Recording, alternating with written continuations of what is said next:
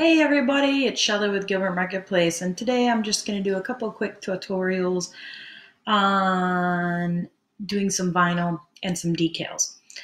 Uh, I do not own a vinyl machine so I wanted to show you some options besides ordering it. Um, you can buy different um, ceramic items and do uh, decals on them. Now this one's a Rae Dunn font, and you can purchase these on Etsy or um, just from local, you know, people. But it's really um, simple. It comes, the vinyl comes um, on there, and then they put a cover over the top. And then you use a scraping tool, and you, you know, scrape it real hard. And then all that should stick on the front piece, uh, piece, sorry, and that will be your back, obviously. And then you can take it and place it on your item, and make sure you get it on there nice and centered, because usually you don't get two tries. I'm gonna have to set this down to do that. And you'll just set that right on your item and push it down and then just use your scraping tool again. This vinyl is actually really strong and if you try to pull it off later, you'll really have a difficult time. If it's not uh, attaching, just give it a little bit more scrape. But you want to pull it up kind of slow and make sure it's down. And now you have like a Rae Dunn little soap pump. It's really quite simple. You can order um, on Amazon. This is clear labels, and they are excellent for mm, putting anything, labels on anything. But you can just print it on your computer. So if you didn't have a Cricut or a silhouette or something like that, you could do this. This has a clear back so you don't notice it on your items. Also, you can buy labels from Avery, and Avery is excellent because they already have all their templates. So you take the image. In this case, I took the Starbucks image and I did get this on Pinterest. So you can just um, Google Starbucks. This says best mom ever in the world. And it's got, uh, you know, the um, little um, logo. And this Avery is um, 22825 and you would just go on to avery.com and you would actually print it. So these are like a sticker and they just peel up. Again, it's like those clear labels. The Avery makes clear labels. So instead of, you know, doing the um, silhouette or any of those kind of things, and I just purchased these cool little candles that look like coffee. And then you just lay it on there and push it down.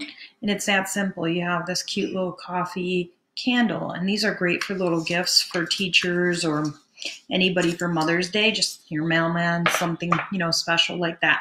So that's another easy way to do um, labels.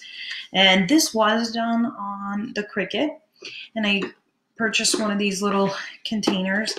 They're assorted with different little cubbies in it. And you can also just apply this on here. I thought these would be good. I did them for Father's Day, Grandpa, and you can, you know, put tools in it. They can put any little trinkets. And this one just says, I'm nuts about you. And you could actually get different nuts and put them in the different containers too. Or you can use nuts and bolts. So again, you're just going to push down real hard on your um, vinyl. And then you're going to, I always start at the corner and just make sure that it's all coming up so you've got the whole image. Just nice and slow and everything attaches and you can just line it up to where you want it. I'm going to try to put that right on the raised part. And you can eyeball it or you can make a little mark so you know exactly where you want it. But I'm just going to push down on it. Use my tool again. And I'm going to pull up on this.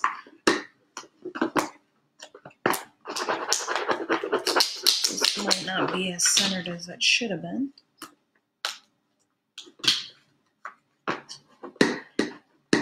So this transfer paper is super, super sticky. So sometimes it's a little more difficult to get it started. But because there's a bend in this, I'll just push these down as I go. And this we're going to push down. Sometimes, like I said, you just got to get that little corner.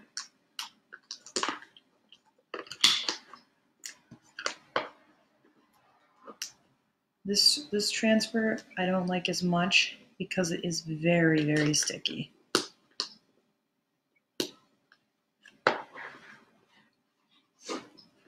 There we go. You just kind of roll it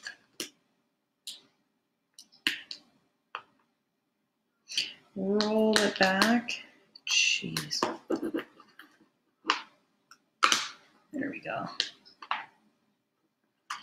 You want to be careful because you don't want to stretch your vinyl because that will happen if you pull it off too fast. And you don't want to rip it like on the S ends or the little different um, Yeah, just kind of keep it low and close. You can pull it back.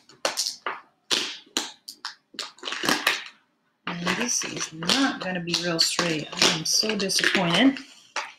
Ah, I should have used my marks. I thought, hey, for camera, I could just wing in here.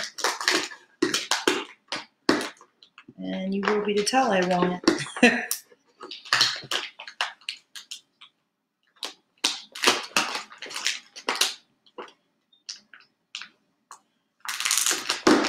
But these little vinyl these little vinyl uh, gifts are you know super easy and they make little cute little gifts so anyway that's it for today.